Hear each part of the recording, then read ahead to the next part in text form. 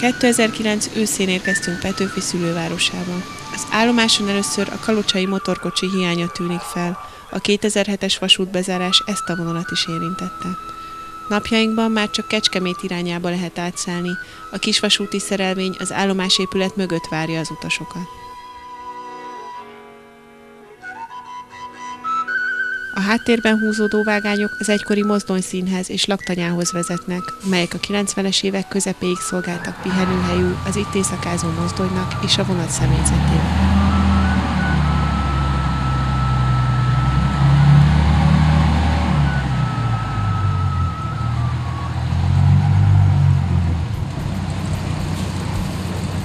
A rövidke vonalon már nincs forgalom, a gépek az indulási csonkában éjszakáznak, melyet néhány éve egy áruház építése miatt megkurtítottak. A jellemzően egy kocsival közlekedő vonat így is bőven elfér a csonkában, és az áruház némi plusz utasforgalmat generál a közeli tanyákról.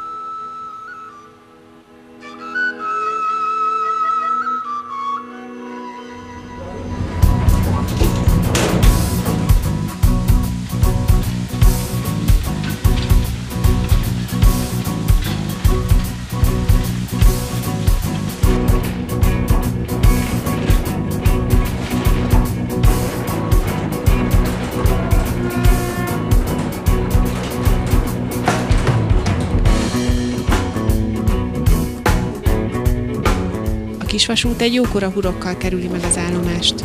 A tervek szerint itt felüljáró épült volna, egyúttal kiágazást terveztek a várospiac teréig, de a magas költségek miatt maradt a színbeli keresztezés. Először a kalocsai mellékvonalon, majd a fővonalon bocog keresztül a szerelvény.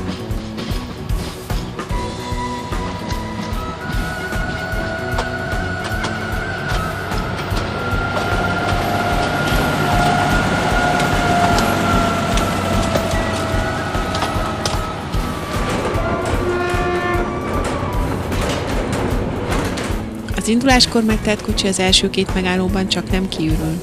Kúti tanyának, felső cebének a kisvasút az egyetlen tömegközlekedési kapcsolata. A tanyák udvarán autók állnak, aszfaltút is épült, de az öregek kitartanak a kisvonat mellett.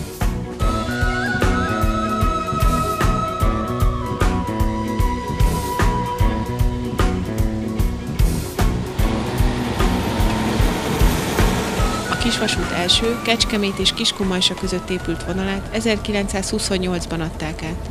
A kiskörösi szárnyvonal tervei már a második világháború előtt elkészültek, de a tényleges építkezés csak 1947-ben kezdődhetett meg. A munka akadozott, a vonalat öt részletben adták át, az év végére Orgoványig, 1948-ban Lőtérig, a következő évben Páhíig, majd újabb egy év elteltével Kaskantyúig értek a sínek. Végül 1952. május 18-án Bebrics Lajos miniszter ünnepélyesen az épülő szocializmus dicsőséges eredményeként értékelve nyitotta meg az új vasútvonalat.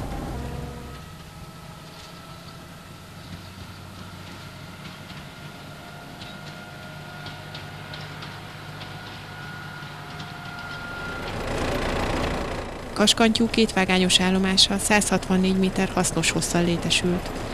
Felvételi épülete jóval a vonal megnyitása után 1968-ban épült. Az alsó szinten forgalmi irodával, váróteremmel, az emeleten állomásfőnöki lakással. Az épület felső szintje ma is lakott, de a forgalmi szolgálat megszűnt. Menetjegyet a vonaton kell váltani.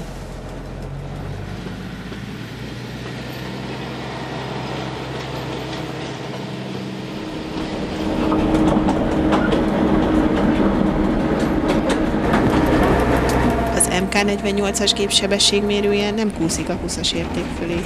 Kiskörös törtörökfáig, vagyis a szárnyvonal teljes hosszán érvényes a sebességkorlátozás. A pályában az építés idejéből származó, nagyrészt már használtan vásárolt 20-23 kilós sinek fekszenek.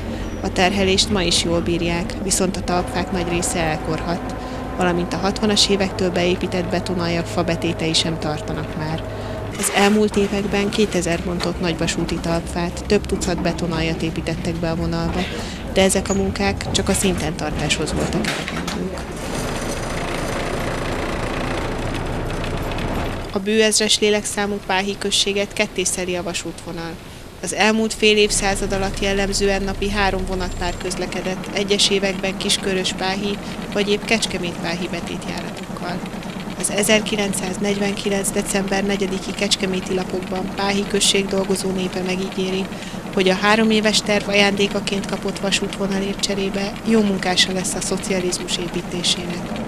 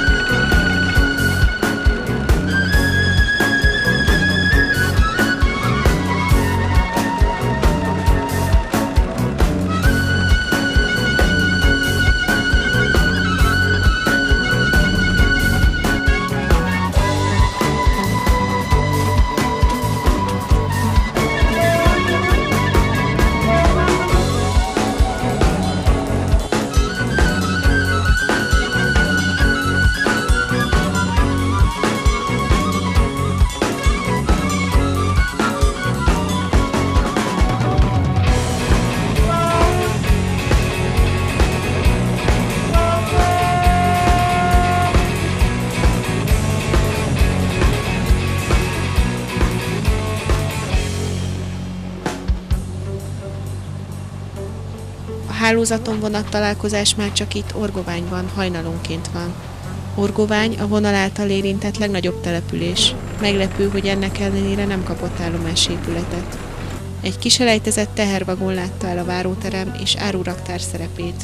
Mára ez is eltűnt. Másfél évtizeddel ezelőtt jóval többen szálltak itt fel, az akkor még két kocsiból álló délelőtti vonatra. Orgoványnak komoly áruforgalma is volt, az egyetértés és a Sallai TS, valamint a tüzépvállalat jelentős fuvaroztatók voltak. A teherforgalom virágkora a 70-es évek elején volt. Ekkor a kiskörösi vonalon évi 270 ezerrel egy tonnányi árut szállított el a kisvasút.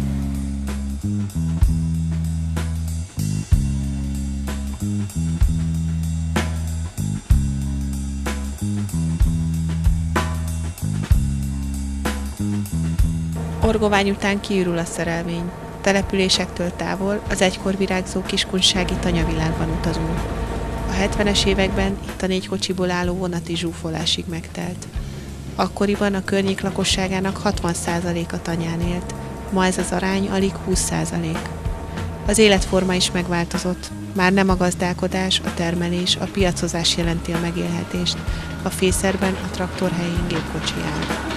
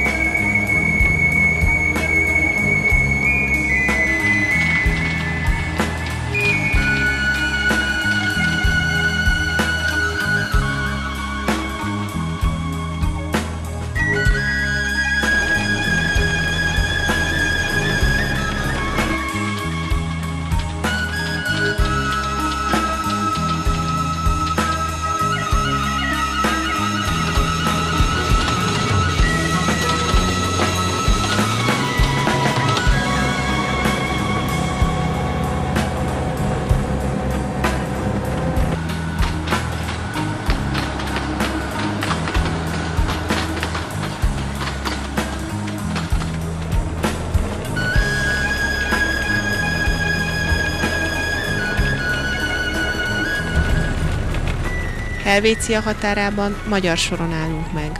Helvécia, Svájc latin neve. Vezérünk érdekességképpen megjegyzi, a világon 187 ilyen nevű település létezik. De ami számunkra még érdekesebb, vonatunk keresztül vág a falun.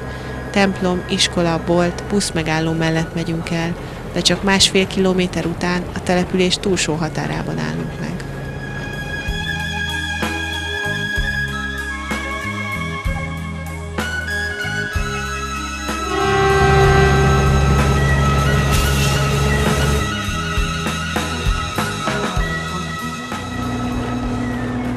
Negyvenöt kilométer utazás után érjük el a Kiskumajsai vonalat. Az egykori Fehértó állomásról kiágazó kiskörösi vonal kitűzését 1947. április 14-én kezdték meg. Jegyvizsgálónk itt leszáll, telefonon kér engedélyt a továbbhaladásra. Az állomás rakodóvágányán sorsukra hagyott teherkocsik állnak, kerekeiken évtizedes rozsdaréteg. Az állomás egyetlen használatban lévő kitérőjét a jegyvizsgáló állítja. A hátralévő 8 kilométeres szakaszon szinte száguldunk, itt az engedélyezett sebesség 35 km per óra.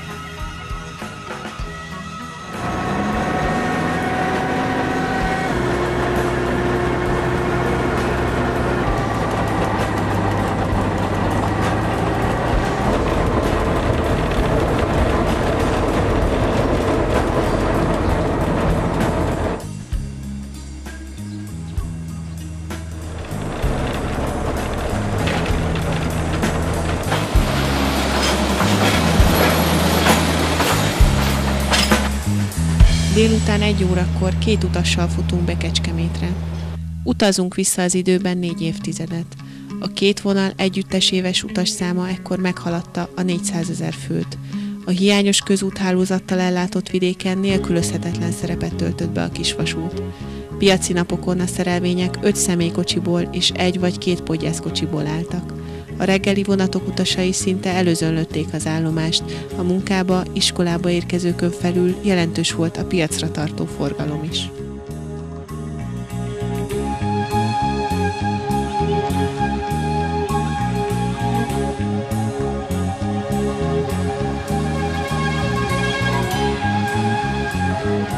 A szerelvények 1961. decemberéig egészen a Rávágytéri végállomásig közlekedtek. Az egy kilométeres szakasz megszüntetését Kecskemét városa szorgalmazta. A vasút a városi építkezések útjában állt, a vágányokat hamarosan felszették, a lakótelep megépült. 1980-ban felszámolták a Kecskemét alsó pályaudvarra vezető vonalat is, így megszűnt a teheráruk átrakási lehetősége. Mindeközben fejlődésnek indult a közúti közlekedés. A Kiskunhalasi út bővítése és a felüljáró építése során az állomási vágányhálózat egy részét felbontották, a vontatási telepet megcsonkították.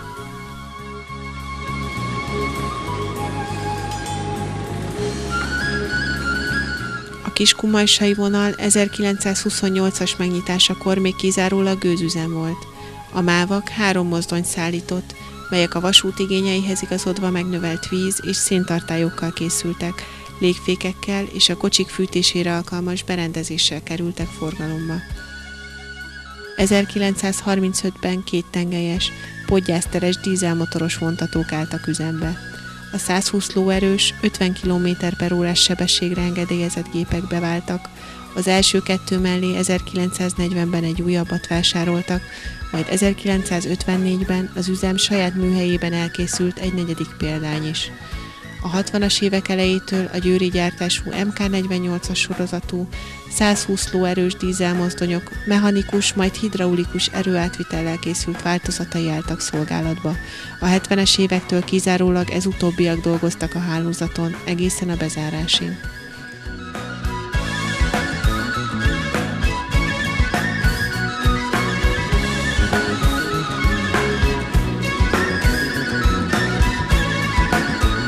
1949-es államosításkor a kisvasútnak 6 darab négy tengelyes és 5 darab két tengelyes személykocsia, 13 fedett és 16 nyitott teherkocsia, valamint egy darab négy tengelyes zsámolyozó kocsia volt. Ez utóbbival a két tengelyes normál nyomközű kocsikat lehetett a vonal bármely állomására eljuttatni, átrakás nélkül. A személyforgalomban az 50-es évektől álltak forgalomba a BAX sorozatú személykocsik első példányai, majd a 70-es évektől a Békés Csabai, Szegedi, Sárospataki kisvasutakról érkeztek továbbiak. Az utolsó évek személyforgalmában ezen BAX kocsik podgyászteresre átalakított példányai közlekedtek. A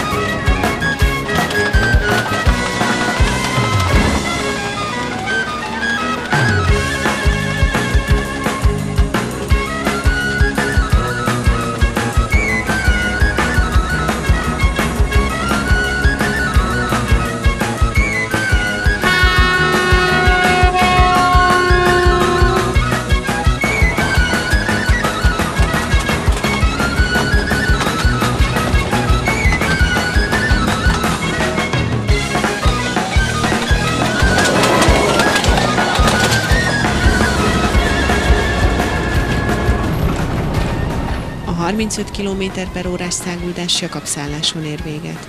A 16 kilométeres távot jó néhány felesleges megállással 40 perc alatt tettük meg.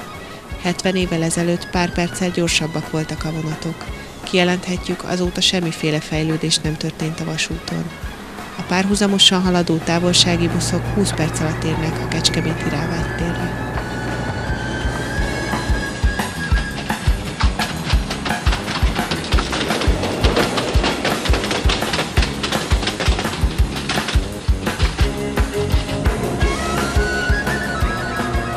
Hugac felé közeledve ismét vadregényessé válik a táj. Olykor feltűnik egy-egy pöfögő hangú csettegő vagy szekerező gazda, de mind több modern traktort, terepjárót látunk a tanyák udvarán. Szinte hihetetlennek tűnik, de a fapados, szenes kájhával fűtött szerelvény útját műholdon keresztül nyomon követheti az igazgatóság. Így hiába nincs utas, a vonat minden megállóban megáll, kopnak a féktuskók, az indulásokkal gázolajat pazarlunk, de a szabály a puszta mélyén is szabály.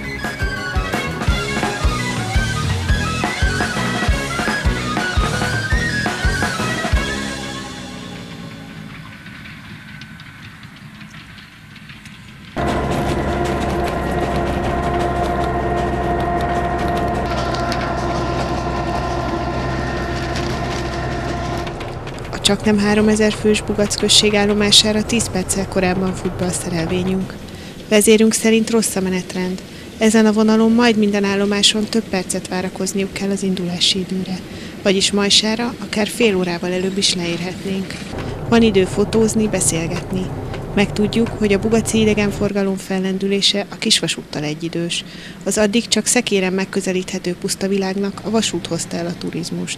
A MÁV által indított, akkoriban közkedvelt úgynevezett filléres gyorsvonatokhoz Kecskeméten csatlakozott a kisvasút bugaci különvonata. Neves hazai és külföldi vendégek keresték fel a pusztát.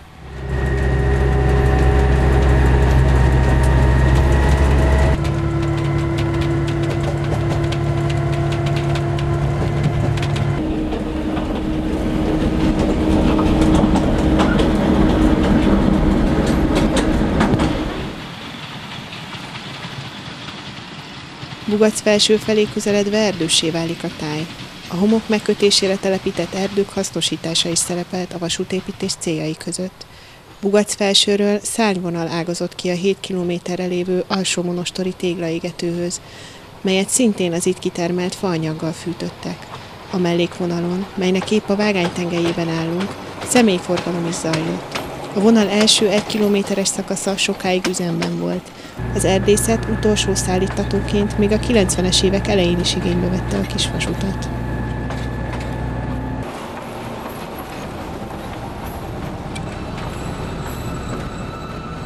Bugac felső. Az erdőben meghúzódó vasútállomás az évtizedeken keresztül megrendezett kispöfögések célpontja volt. A Szegedi Vasút Történeti Alapítvány szervezésében minden év augusztusában a 490-053-as számú 1942-ben gyártott gőzmozdony vontatta szerelményen utazhattak a nosztalgiára vágyók. A vonatot motoros hajtányok követték, melyeket szintén kipróbálhattak az érdeklődők.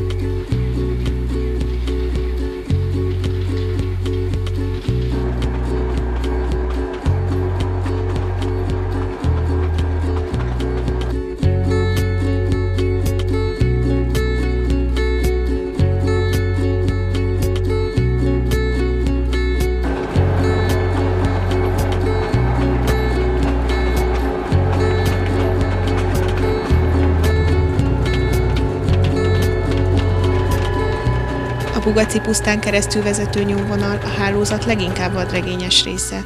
A buckákon megtelepült cserjések, ősborókások között meghúzódó réteken szürke marhák legelnek. A közutaktól távol eső vidék felfedezéséhez ideális eszköz a kisvasút. Ennek ellenére összesen két utas ül a szerelvényen.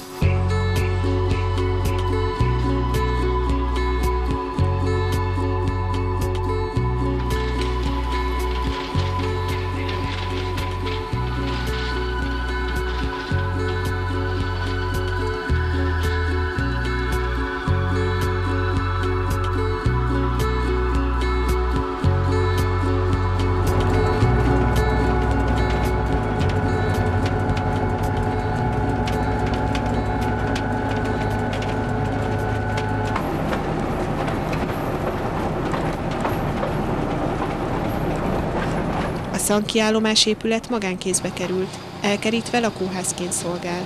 Mellette egy faváró helységet ácsoltak, tetejére a régi épületről került át a tábla.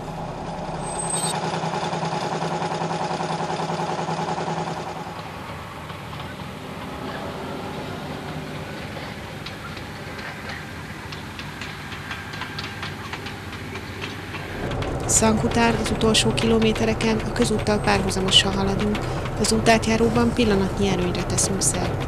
Szankon egy baráti társaság szállt vonatra, mozgássérültásukkal nem merték megkockáztatni a buszozást, a kerekes szék nem minden járműre fér fel.